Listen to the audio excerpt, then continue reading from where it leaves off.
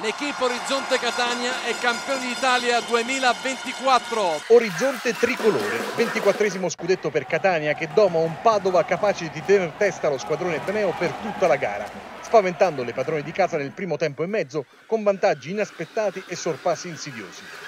Catania ha potuto contare sul calore del pubblico, una bolgia incandescente all'interno dell'Anesima che ha capito i momenti critici della squadra e l'ha lanciata verso il titolo a fine secondo quarto e poi all'inizio dell'ultima frazione.